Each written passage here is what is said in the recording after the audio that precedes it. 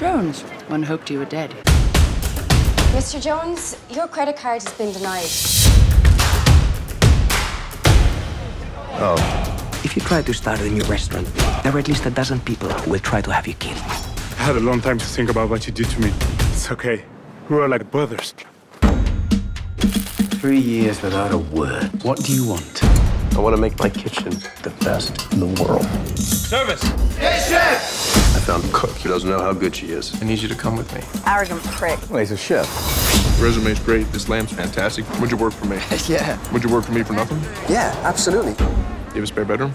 You sure he's famous? He's a two-star Michelin chef. To get even one Michelin star, you have to be like Luke Skywalker. You have a nice dress? I gotta go to this party, and uh, you're the only girl that I know, so. If you manage to get three, you're Yoda. Pretend you're my girlfriend. I was your girlfriend, you'd probably hold my arm. No, if you were my girlfriend, we would have gotten an argument in the taxi. We wouldn't even be talking.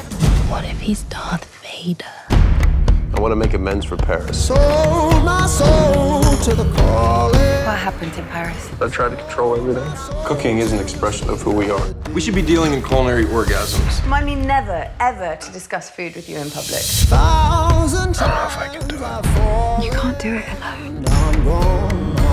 You're the best. The rest of us need you to lead us to places we otherwise wouldn't go. It's my daughter Lily's birthday. I want a cake. No, no cake. You're a chef. You can make cakes, right? You're the ogre. The one who shouts. Yes, but I bake great cakes. Good? I've had better. Really?